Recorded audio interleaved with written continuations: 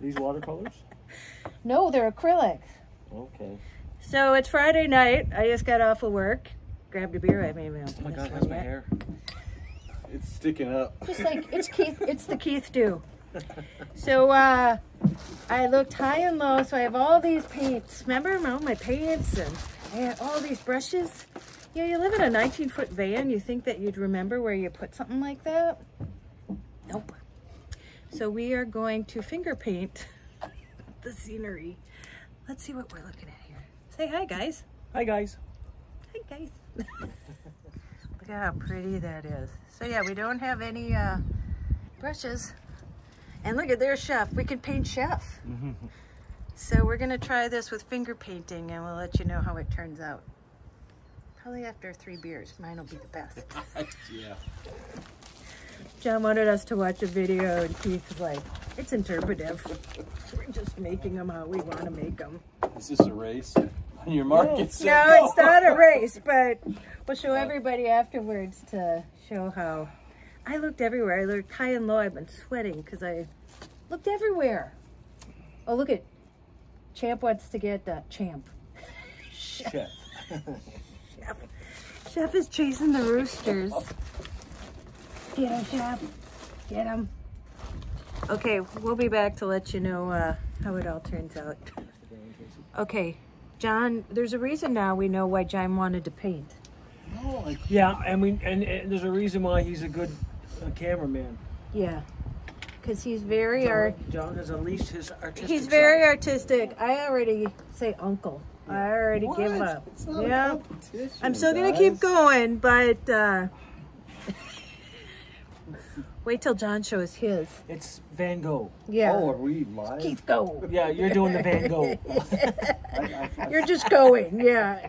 Van So, Gogh. uh, it's Van Gogh. Then go, go, God. oh, Jon, show yours for right No, I now. Oh my gosh. Yeah. Yeah, yeah. Happy trees. And we'll start the he was watching a, he was watching a video on how to finger paint before we started, so he learned how to do I, it. I showed you guys. Yeah. And let's have the bidding starting at Who wants to come hang uh-huh. out with us and finger paint on a Friday night, huh? Okay, we'll be back to show the final result. We already know Jon won. Nope, that's okay. It's not a. Okay, we're done. I'll show you. I'll show you Keith first. Yeah. We say it's interpretive, okay? And it's finger painting. wow, Keith is really good. Keith, that looks really good. Okay, from a distance. I'll show you mine. From stand across the river over there. And yeah, all interpretive. Remember, interpretive. Okay, now wait for it. Wait for it. Wait for it. Here, here's the Here Matisse. comes here comes Bob Ross. Yeah. Bob Ross, yeah. Mm-hmm. We even put the cross over, Over there. there, yeah. Oh my gosh, look at that. It's like a postcard. Maybe Brian wants to sell those as postcards. I'm going to show you what we're looking at so you can see what we were painting. So that's what we were painting. Hi, Chef. Hi. So yeah. And that's not snow. Somebody asked if that was snow. It's beach. So isn't that beautiful? So, yeah. We only have one more week left. We leave a week from tomorrow. There they are. There they are. Oh, yeah. So this is what we do on a Friday night. So there you go. Wait till Saturday. Good morning. It is Sunday. And it looks pretty, but it's chilly. Well, I shouldn't say that coming from Minnesota, but it's 60, I think it's going to be 65 here. It's only like 50 right now, but it actually feels good to me. So yesterday it rained all day long and I laid in bed. I did not get out of my pajamas and I pretty much slept all day and all night. And I think that's what I needed to just recharge my batteries and catch up with a bunch of sleep. And um, even though I know you can't catch up with sleep, but boy, made me feel a lot better. So I'm actually going to go to the gym now. I cleaned the van. It was looking a mess. And I what do I got to do? I got to work this morning, but I'm going to go to the gym, take a shower, come back, do some work, and then Keith and I, I think, are going to go do a small adventure. We were going to go, um, what do you call it, on the river, down by the river. We're going to go kayaking, but I think it's a little, well, he thought it was too cold. I mean, I don't think it's too cold, but you know, Keith is very delicate like a flower. So, and you know, when I said that we only had one week left, yeah, I don't even know what day it is anymore, what date it is. Uh, we're here for two more weeks. so we don't have to be sad yet. So uh, we're all leaving April 1st. So that's the plan because it's still pretty gross uh, in Minnesota with the weather. So we'll see what happens. But all right, time to start the day and I'm feeling like a champ. All right, let's go. Okay, I just worked out and I took a shower and there is something to be said for really good rest and giving yourself a break to rest. And listen, I don't ever feel guilty. Like if I take a nap, well, I can't now because I work in the afternoon, but um, that I think sometimes we think we have to keep going. And for me, it's not about not resting. It's like I just have so much I want to get done. But it just reminds me how I have to like really take naps or really go to bed early. And especially being on the road, um, I will tell you that, uh, well, I've been eating a lot more meat because, you know, when Keith cooks, that's what it is. I usually don't eat that much uh, typically. And so when I leave here, I'm going to try to be a Pescatarian, where it's just fish. Um, we'll see how it goes, but I'm really going to try because, again, I don't eat that much meat in my normal life, but how could I pass up Keith? He just made a meat pie, and I tasted it before. He's making it again so that he could show how to make the crust. I love me some meat pie and ketchup and I don't want to offend him by not eating it. But yeah, and another thing too, so you know, you feel like you're on vacation. Like, I mean, I know I do. And I, I don't drink a lot, but I drink more consecutively. Does that make sense? Because, you know, at night, we'll be winding down, we'll have dinner, and then everybody's around the fire and everybody's having a beer. And so I'll have a couple beers, and I'm usually in bed by 10. And I think why I don't get like, I, I sleep really hard, but uh, then when I'm inside, I'm usually up till like 11 or 12 watching something, and then um, we have the roosters. they start growing early. Uh, but we love those roosters now, and so we're all feeding them because we want the baby chicks to grow up. Um, so yeah, so I just want to tell you, I forgot, I mean, I feel so refreshed. I feel like a new person. So watch out, Walmart, here I come. And I have lost so many things in here. I'm telling you. So you know I can't find the brushes? And I looked everywhere.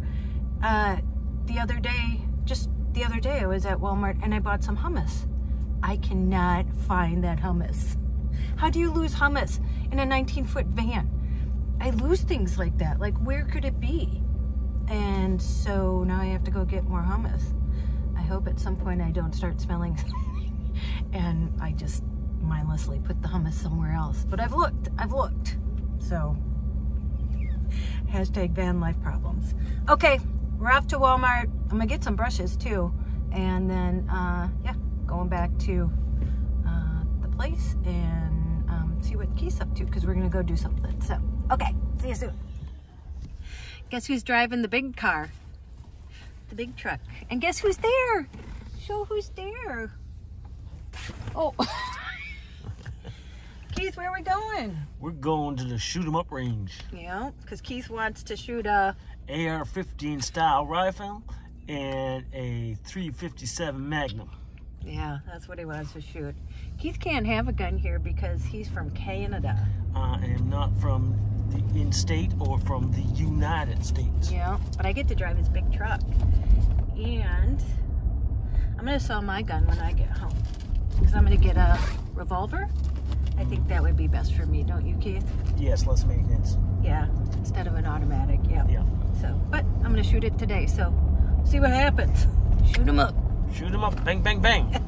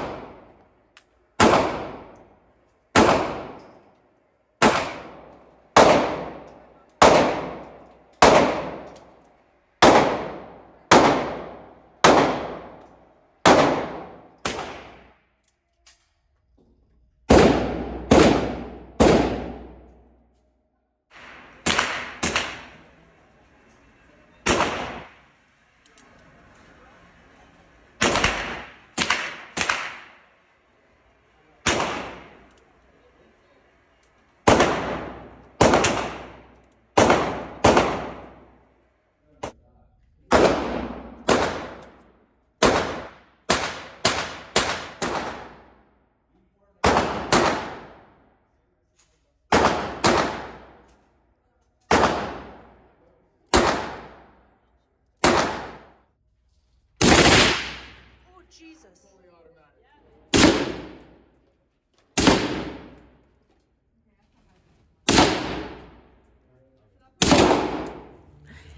So we're back home.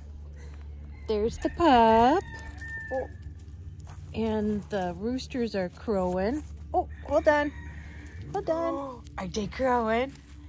Are they crowing, huh? Yes.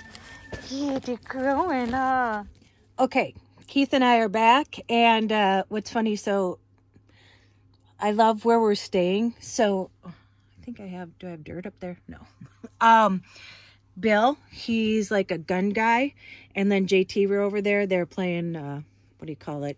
You know, the beanbags. Yes. And they were making pork chops. But anyway, I said that we had gone to the gun range and Bill's a gun guy and he was showing me tricks on how to like keep it close to me and you know all these different things that I can do to help myself.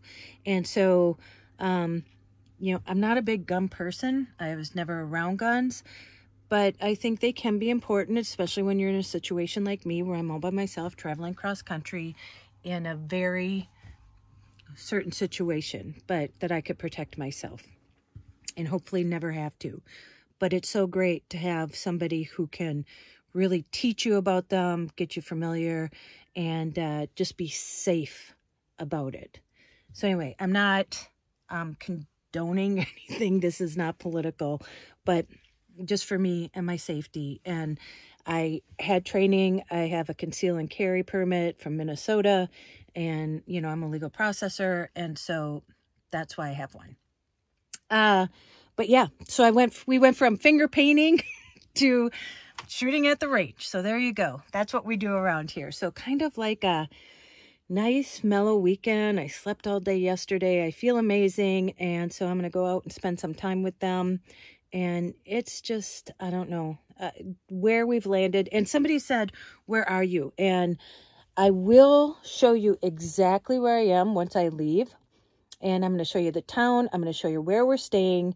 Uh, that's another safety thing. Don't tell where I am until I leave a place. Um, just because I am out on the internet and I do get some kind of weird messages. So uh, that's just a safety thing too. But when I do leave, I will show you exactly where we're at. And um, I think this would be perfect for anybody, well, who even just wants to settle somewhere for a while or somebody new who wants to stay somewhere really great. Um, and I'll tell you, Brian owns it, and you can tell him that, you know, I said to come here. And then uh, there's a small town close, and then Jacksonville is close, and St. Augustine is close. So it's the perfect place to be. I'm so happy that we landed here. But that said, I'm going to let you go. I'm going to enjoy the last of the beautiful sun out there. And you know what to do. Go out, make an adventure, no matter how big or how small. You don't have to sell everything and move into a van. You don't have to go to the gun range. You don't have to do any of that. Just maybe take a different way to work or go to a different restaurant or just do something that's out of the ordinary for you. That's an adventure. It doesn't have to be anything grandiose. Go call someone you love, and as Joy says, tell them that you love them, and I'll be back with Joy soon, and we'll have more um, videos with her. And don't you dare forget you are magic. And I will see you in the next one. Bye.